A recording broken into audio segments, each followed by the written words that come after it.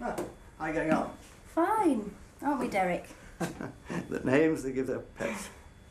Look, I've got to go out to Connelton. Farmer out there has a couple of hunters he wants to race. Wants me to do some fitness checks, uh, blood tests. So Oh, sounds interesting. Can I come? know, I'd rather you stayed here in the surgery. Right. There'll be plenty of time for you to get out later. Derek and his pals are just as important, you know. Oh, I know. It's just. Well, I think I've neutered all the tomcats I ever want to. You think horses and bulls are more exciting, do you? They're just the same, you know, only bigger. Anyway, I've got just a job for you here. A cat with gingivitis. Wants some teeth out. I'll just pop round like to see if, um, well, see if you fancy going for a drink.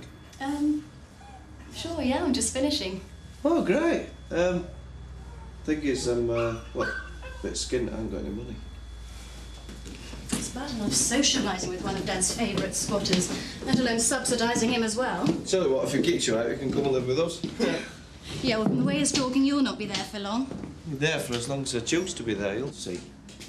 Martin, got a sad case here. Oh, yeah. What is it? BSE? No, he's convinced that animals hate him. Any advice? is it all animals? No, I'm all right with little ones. Got quite friendly with a rat once. He wants some therapy. I think I've got just the thing. Do you have to tell everybody? Spoils the tough guy image, does it? Well, yeah, it does a bit, yeah. I thought he could come out with me. Well, when I get out, that is. You'll be glad of surgery work when there's six foot of snow. I'll do the surgeries then. Keep my rheumatism in the warm. You'll get out soon enough. Now then, young man. Just have a look at that.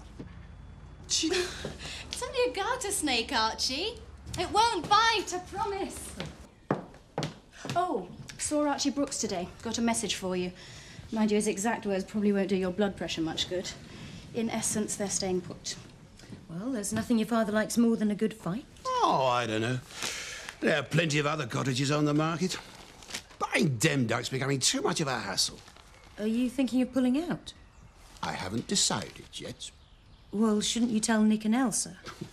It's Joe Sugden's problem, not Nick and Elsa's. Well, I feel sorry for Elsa. She must be worried, poor kid. Nothing I can do about it. Well, you could let them know there's no pressure if you don't want the cottage anymore. But that's the point. I haven't made my mind up yet. Zoe, not a word to your mate. I'll keep them worried a bit longer.